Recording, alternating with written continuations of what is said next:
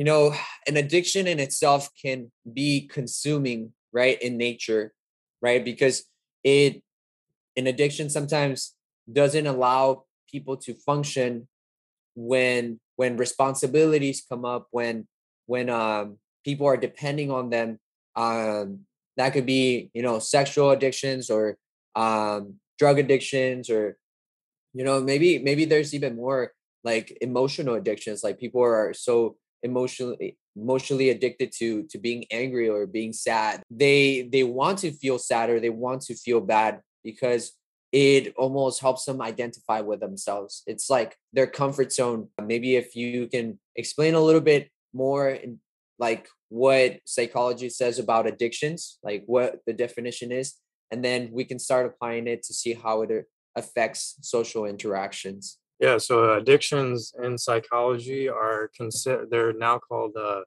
a substance use disorder in the DSM-5. Uh, so they're a mental disorder that can be di- diagnosed if certain criteria are met. There's uh, so there's substance use disorder, which is what we normally think of as an addiction. Then there's uh, like intoxication, that can be diagnosed like substance intoxication for all the different substances and there's certain symptoms that you look for for that as well now substance use disorder requires certain criteria the most important ones that stand out are increasing tolerance to the drug or substance so like they need more of the substance in order to keep having the same high the same effect mm-hmm. and then mm-hmm. like the cravings for it like they want to use the substance again when they stop and then withdrawal symptoms whenever they stop using they start experiencing certain physical and psychological like negative effects. So those are substance use addictions, right? To like drugs, alcohol, all that different stuff. But then there's also something called uh, behavioral addictions, which is also called mm. process process addictions, and those addictions are still being researched. There's only a few of them that have made it into the DSM-5 for diagnosing mental disorders, like gambling use disorder or gambling disorder or gambling. Yeah, I think it's gambling disorder um, to where someone feels the need to keep gambling or else they have you know certain withdrawal or cravings and, and, certain things like that to keep gambling. I think they were working on trying to get other addictions in the dsm so like uh, internet use addiction wow yeah. pornography addiction sex addiction gaming addiction like video game addiction. They still haven't really made it to be like where they can be diagnosed. And the most controversial one is actually a, a, a sex addiction because you know most mm. it's hard to like there's such a huge gray area because you know most human beings crave and want sex at some point in their it's, life it's like inherent right? like, like natural desire right? So it's like how do you turn that into a mental disorder? Where's the where do you draw the line? People are still debating heavily on that so most people who have an addiction to some degree know that it's bad but they still continue to do it because it's it's already ingrained in their habitual behaviors right? And so it's become ingrained to the point where they self-identify with that type of behavior um, almost to say as somebody identifies with you know being a school teacher or, or their profession the body chemically um, i guess accepted it as well right because there's like you said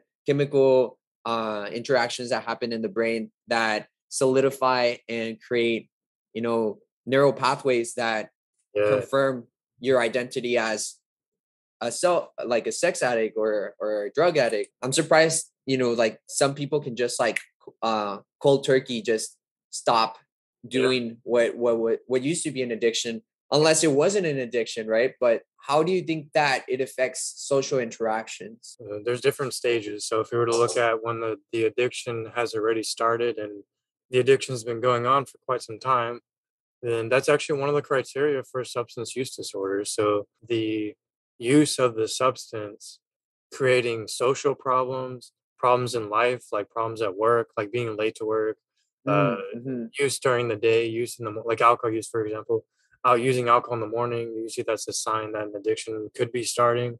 Not in every single case, but in a fair amount. And of course, there's other factors that play into it. And then there's also like risky use. Is that person taking substantial legal risks to get the substance and is it interfering with their life as a result? Are they putting their lives in danger, other people's lives in danger because of the substance?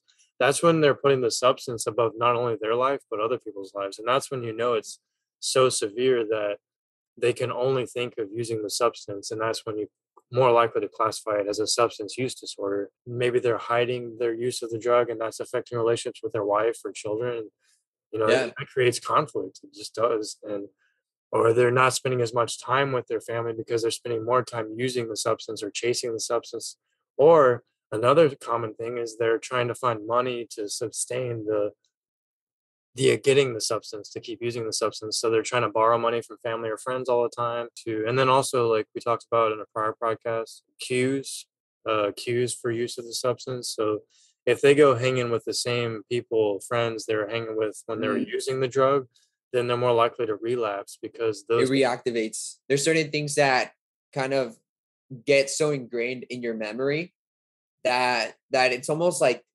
slightly there and it's just waiting for you to hit the that that string for for it to come back and like Sure.